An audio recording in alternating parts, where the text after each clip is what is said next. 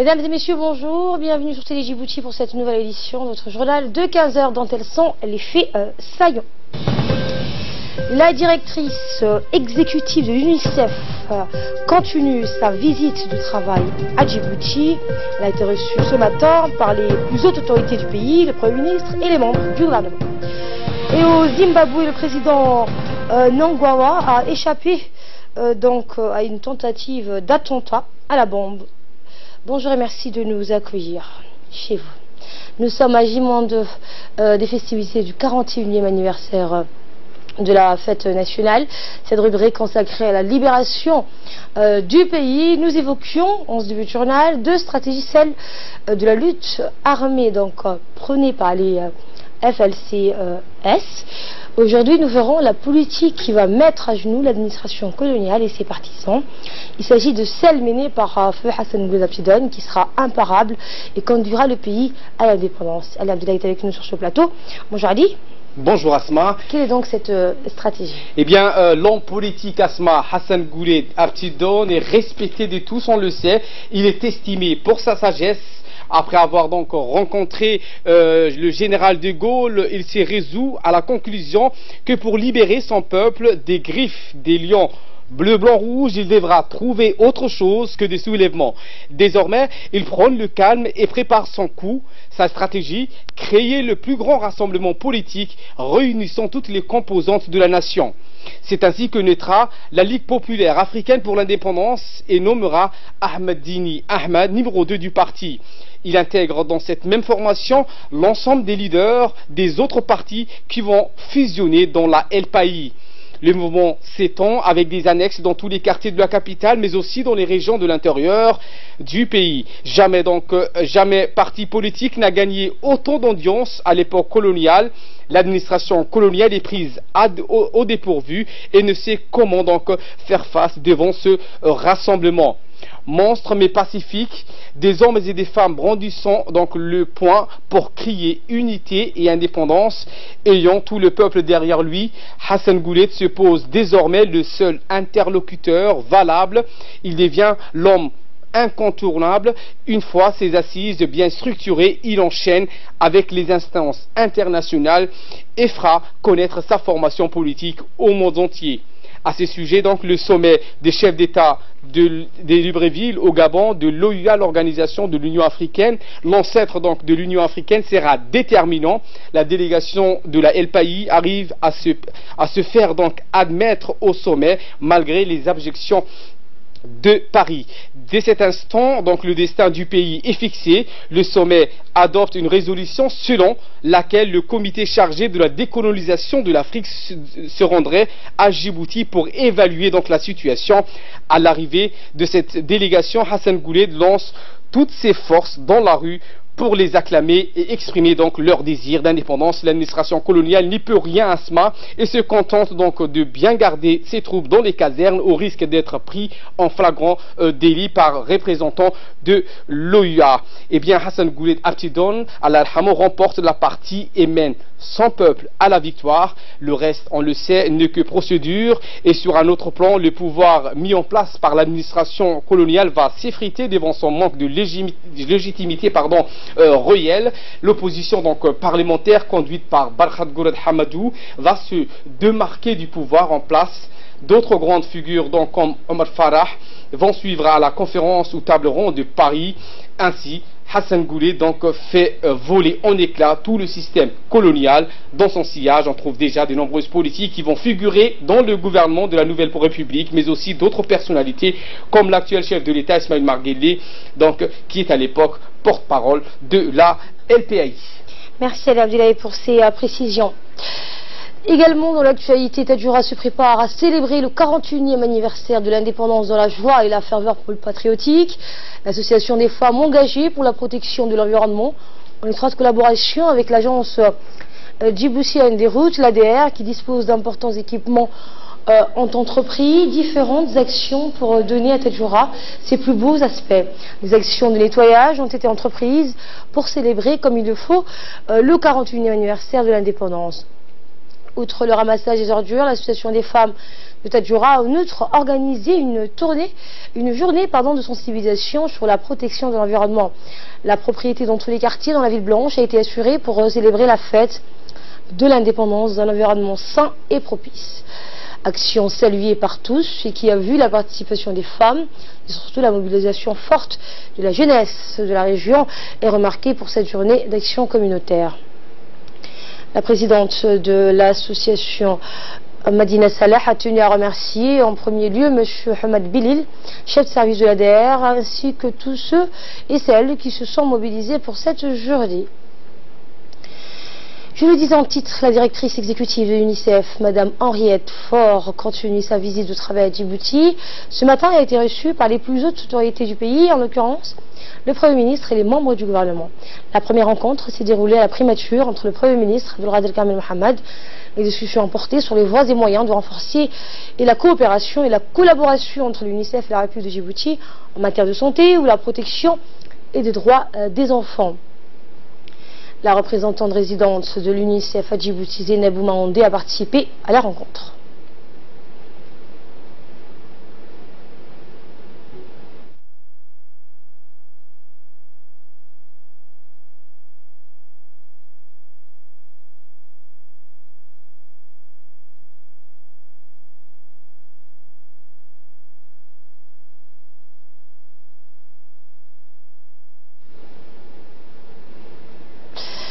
Toujours dans la même journée, la directrice exécutive de l'UNICEF a été reçue ce matin par le ministre des Affaires euh, étrangères, Mohamed Ali Youssouf, en présence des collaborateurs du ministre et des représentants des agences du système des Nations Unies, dont la représentante résidente de l'UNICEF à Djibouti, Mme Zainabou Maondé. Les discussions ont porté sur la coopération entre les deux parties, notamment sur l'amélioration de la santé et de la femme, santé de la femme et de l'enfant et l'éducation des jeunes. A été aussi évoqué l'enseignement digital à Djibouti. La directrice exécutive de l'UNICEF a remercié le ministre des Affaires étrangères, Mohamed Ali Youssouf, pour son accueil chaleureux et a invité le ministre des Affaires étrangères à participer au Forum des jeunes qui sera organisé en septembre à New York en marge de l'Assemblée générale des Nations unies. Le ministre de la Santé, le Dr Jamal qui a lui aussi reçu dans son cabinet la directrice exécutive de l'UNICEF en présence du secrétaire général Dr Salah Benoît et euh, des nombreux hauts cadres du département de la santé. À noter également la présence de la représentante toujours de l'UNICEF à Djibouti et de ses collaborateurs parmi la délégation onusienne qui s'est entretenue avec le ministre de la Santé. Entrée en fonction depuis le 1er janvier 2018, la directrice exécutive, Madame Fauré, effectue une visite de travail dans notre pays qui s'inscrit dans le cadre du renforcement des coopérations entre l'UNICEF et le gouvernement djiboutien dans le domaine de la santé de la mère et de l'enfant. Lors de cette rencontre, le ministre de la Santé, Dr Jamal Mouaki, a tout d'abord souhaité la bienvenue à la directrice et à la délégation qui l'accompagne. Il a ensuite fait un tour général sur la situation nutritionnelle du pays. À cet effet, le ministre de la Santé a fait un état de lieu sur tous les efforts déployés par le gouvernement djiboutien en matière de la prise en charge optimale et adéquate de la santé de la mère et de l'enfant, notamment dans la lutte euh, conjuguée contre la malnutrition, euh, le retard euh, de croissance. Il a par ailleurs mis en exergue les difficultés exogènes rencontrées dans la mise en œuvre de ce programme de nutrition ainsi que les perspectives en cours d'élaboration. Le docteur Jamal qui a confirmé la volonté du gouvernement djiboutien d'adhérer au sein du mouvement mondial d'éradication de la malnutrition sous toutes ses formes. Et pour euh, sa part, la directrice régionale de l'UNICEF a d'emblée félicité le département euh, de la santé pour avoir euh, érigé la question de la lutte contre la malnutrition comme une priorité absolue. Par la suite, la directrice exécutive, Madame Fauré, et sa délégation ont été conduites pour une visite guidée au centre de récupération nutritionnelle qui se trouve au centre de santé communautaire de Belvalade.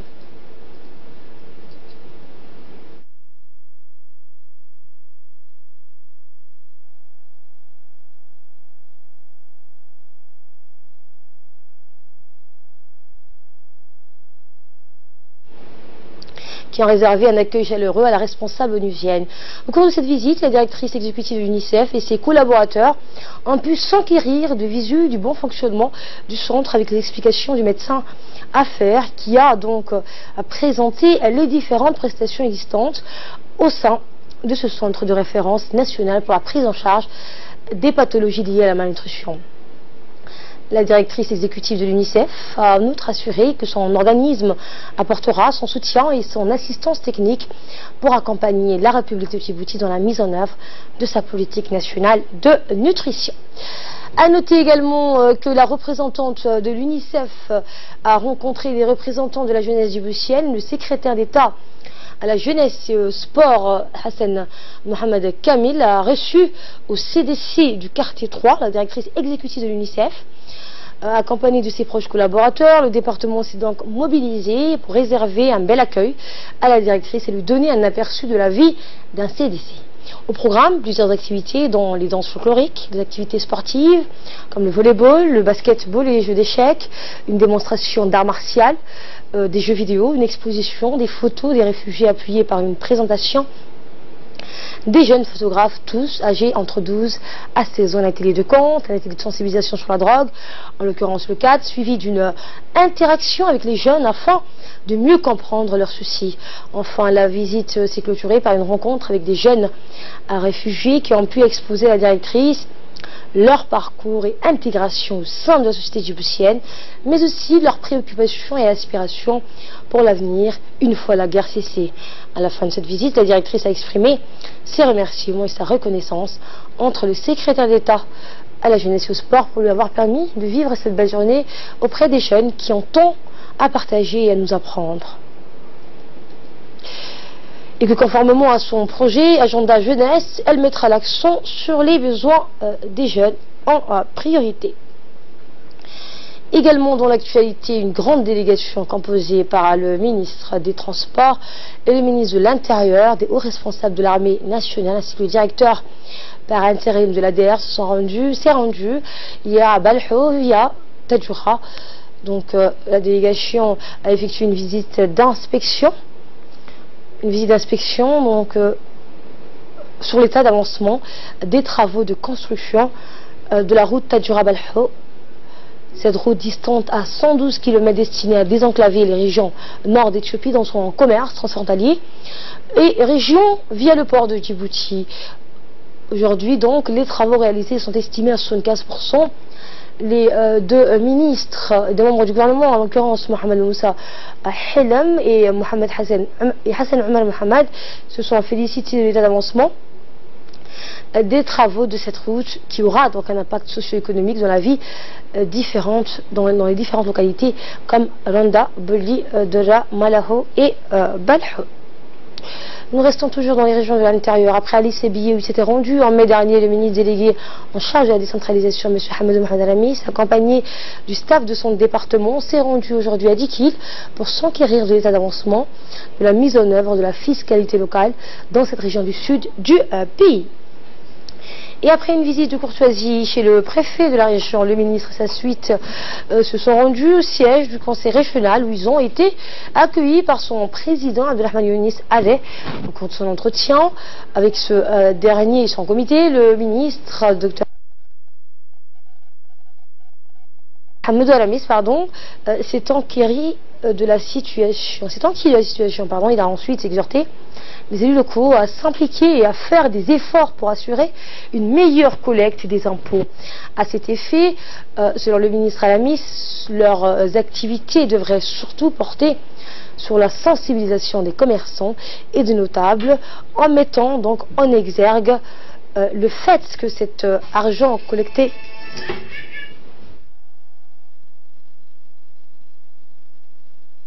auprès d'eux sera réinvesti L'activité de développement euh, de la région. Notre le ministre Alamis a assuré le président et son comité des locaux de la disponibilité de son département à leur former sur la préparation des projets. Le ministre n'a pas manqué donc de rappeler l'importance qu'attache le chef d'État, Ismaël Marguillet, à la réussite de cette décentralisation fiscale, laquelle devra permettre l'émergence des pôles de croissance économique et régionale. Nous restons toujours à Dikil où une journée olympique a été organisée à Dikil. La ville de l'unité a clos hier la semaine olympique. La célébration de cet événement s'est déroulée en présence de nombreuses personnalités, dont M. Mohamed Cheikh Hassan, préfet de la région de Dikil, Abdelrahman Younis Adeb, président du conseil régional de Dikil, Mme Fabdoussa Igué, vice-présidente, ainsi que euh, M. Mounir Saïd, secrétaire général du, du CNODS. Les activités de célébration ont débuté par une marche symbolique à laquelle on prépare une centaine de participants, jeunes euh, et moins jeunes, suivis de plusieurs activités telles qu'un concours de dessin ainsi que des démonstrations des arts martiaux, des tirs à l'arc, etc. Rappelons enfin que la journée olympique créée en 1948 pour commémorer la naissance des Jeux olympiques modernes et célébrée chaque année le 23 juin à travers le monde. Objectif, vulgariser les valeurs olympiques sur la base des trois piliers, bouger, apprendre et découvrir et à promouvoir par la même occasion la pratique du sport dans le monde entier.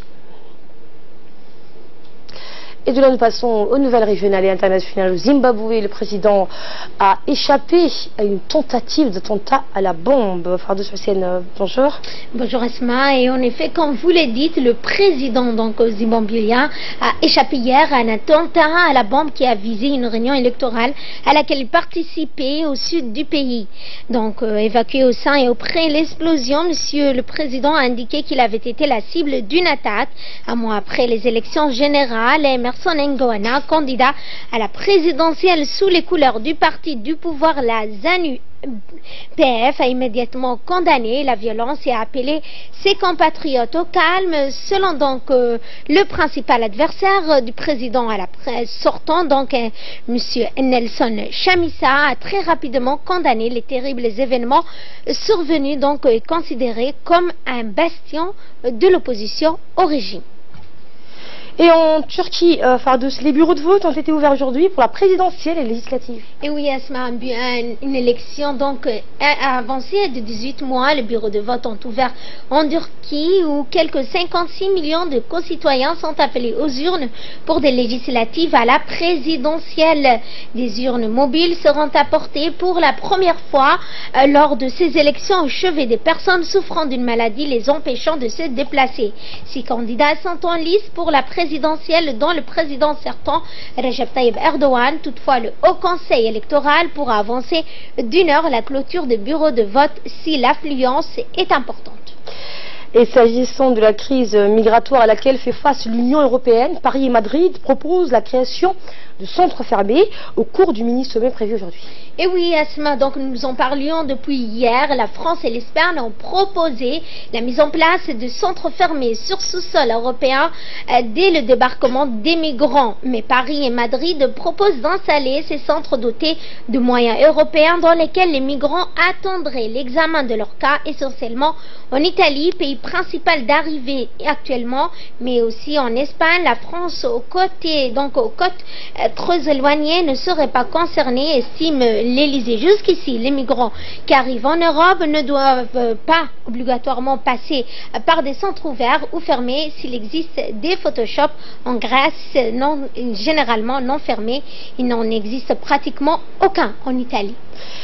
Et le comité euh, du patrimoine mondial se réunit euh, ce dimanche à Bahreïn pour choisir les nouveaux sites qui intégreront la liste euh, du patrimoine universel de l'UNESCO, bénéficiant ainsi d'une image prisée.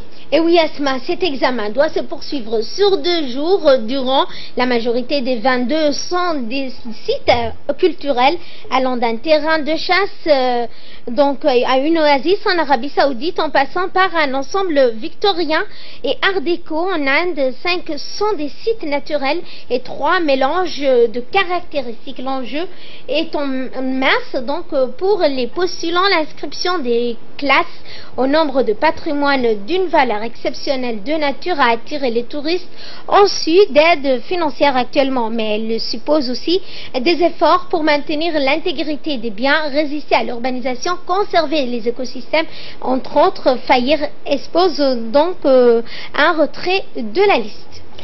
Et tout à fait euh, autre chose pour l'actualité. S'agissant de la Coupe du Monde de football, l'équipe nationale allemande en foot, euh, championne du monde en titre, a conservé ses chances euh, de qualification donc pour les huitièmes de finale du mondial en battant la Suède dans toute fin de match.